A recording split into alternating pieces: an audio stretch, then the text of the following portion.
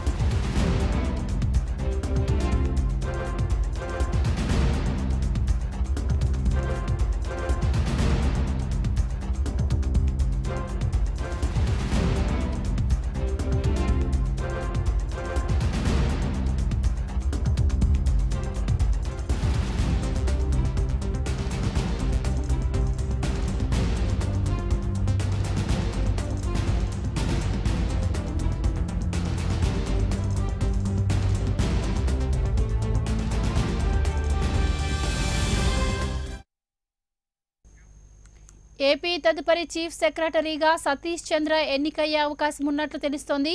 ఈ నెలాఖరుకు LV Subrahmanyam retire అవుతున్నారు. అదేవిధంగా ఇప్పుడున్న చీఫ్ సెక్రటరీ నీలం సాహ్ని వచ్చే నెలాఖరుకు పదవి విరమణ చేయనున్నారు. ప్రస్తుతం ఉన్నత విద్యాశాఖ ప్రత్యేక ప్రధాన కార్యదర్శి సతీష్ చంద్ర విధులు నిర్వహిస్తున్నారు.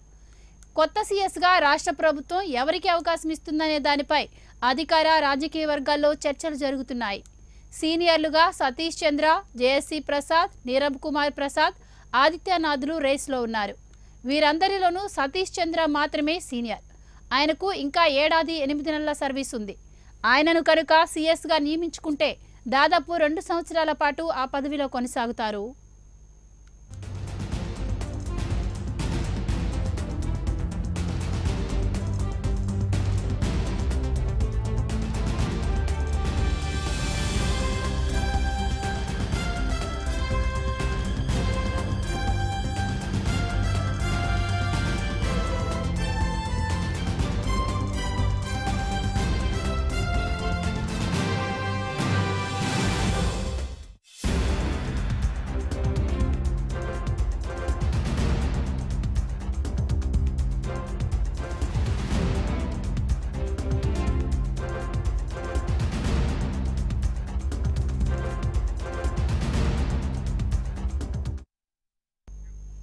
దీనిపై మరింత సమాచారం మా ప్రతినిధి వేణుగోపాల్ అందిస్తారు.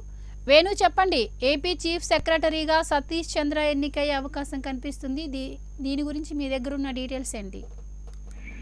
ఏపీలో ఏదైతే ఒక నెల రోజులకి సమయం ఉన్నటువంటి ప్రస్తుతం ఉన్నటువంటి చీఫ్ సెక్రటరీ నీలం సాహ్ని ప్లేస్లో తదుపరి సిఎస్ అనే ఎవరు అనేటటువంటి చర్చ కొనసాగుతున్నటువంటి పరిస్థితి. అయితే దాదాపుగా గతంలో చూసినటువంటి నేపథ్యంలో అటు ఏదైతే ఒక ఎల్వి సుబ్రహ్మణ్యం చీఫ్ సెక్రటరీగా ఉండి అర్ధాంతరంగా కూడా ప్రభుత్వం చేత ఉద్వాసన పలికబడినటువంటి పరిస్థితుల్లో చీఫ్ సెక్రటరీ పదవికి రావాలంటే కనుక కొంత ఆలోచిస్తున్నటువంటి పరిస్థితులు సీనియర్ ఐఏఎస్లో ఉన్నటువంటి నేపథ్యంలో సతీష్ చంద్ర పేరు సీనియర్ ఐఏఎస్గా ఉన్నటువంటి సతీష్ చంద్ర పేరు తెరపైకి వచ్చింది.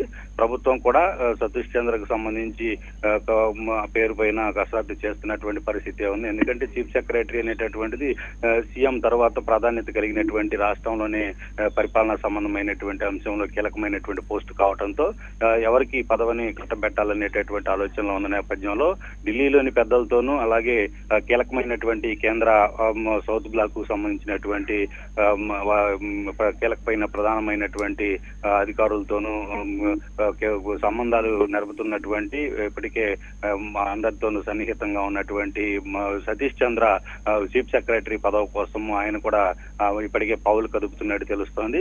అయితే గత ప్రభుత్వంతో పాటు గత పది సంవత్సరాల్లో చూసుకుంటే కనుక సతీష్ చంద్ర ఏ ప్రభుత్వం అధికారంలో ఉన్నప్పటికీ కూడా ఆయన కీలకమైనటువంటి రోల్ ప్లే చేసేటటువంటి పరిస్థితి ఉంది. ప్రభుత్వ పరిపాలనకు సంబంధించి సీఎంఓలో ఆయన చెప్పిందే వేదంగా కూడా గతంలో చంద్రబాబు పాలనలో జరిగింది ఈ పరిస్థితి ఉంది. అయితే ప్రస్తుతం కూడా సతీష్ చంద్ర ఒక ఉన్నత విద్యాశాఖ కార్యదర్శిగా ఉన్నటువంటి నేపథ్యంలో ఆయనకే యొక్క సీనియారిటీ చూసుకున్నప్పటికీ కూడా కేంద్ర సర్వీసుల్లో మరో ముగ్గురు సీనియర్ అధికారులు ఉన్నారు. వాళ్ళు సిఎస్గా వచ్చేందుకు అనుకూలంగా లేకపోవడంతో ఏదైతే అను వాళ్ళు అంగీకారం అంగీకారం లేకపోవడంతో సుముఖత లేకపోవడంతో ఇక సతీష్ చంద్రకే యొక్క పోస్ట్ ఖరారయ్యే పరిస్థితి కనిపిస్తుంది. అయితే సీఎం జగన్మోహన్ రెడ్డి ఎలాంటి నిర్ణయం తీసుకుంటారనేటటువంటిది చూడాల్సిన పరిస్థితి ఉంది.